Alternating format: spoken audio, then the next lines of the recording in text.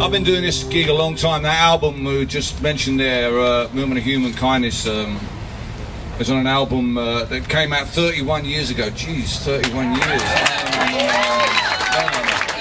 Forget it, forget it. 30, 30 schmurty. You know, who cares?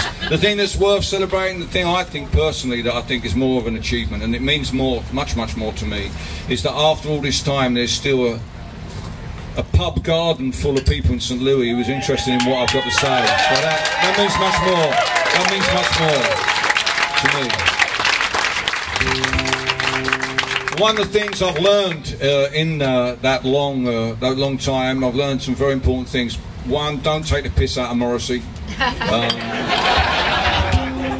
not only is he easily offended, his fans are even more easily offended. Um, what I'm trying to say, mate, is if he if he couldn't take a joke, he shouldn't have asked for that job in the first place. It's a bloody stupid job, you know. I think I'm sort of feeding over the back here somewhere, mate. I don't know what it is. Okay. But the thing, most important lesson that I've learned, um, is that the true enemy of all of us who want to make the world a better place is not actually capitalism or conservatism. It's actually cynicism. Yes. That is our greatest enemy. And uh, and it's not it's not the obvious uh, cynicism of Fox News. You know, that's their job.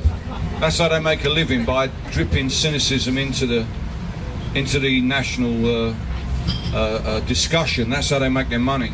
No, it's not that cynicism. The cynicism that is the true enemy of all of us that want to make the world a better place is our own cynicism our own sense that nothing ever changes, our own sense that no one else gives a shit about this stuff, our own sense that all those people in charge are all exactly the same, they're only in it for themselves. You know, we, we have to fight to overcome that cynicism. You have an opportunity here yes. in the in the uh, the things that are happening around you at the moment to overcome your cynicism and to show the rest of the world that St. Louis is not a cynical place. It's not a place where people give in. It's not a place where people give in to their worst impulses. And that America is not a cynical place, you know, because we uh, there's so much of it out there, and sadly the internet has kind of opened the whole dam of you know let all the cynics free. You know the amount of shit I get sometimes when I tweet stuff is out of order, and we all know it would be ten times worse if I was young and female and had an opinion. The amount of shit I would get. We've got to fight.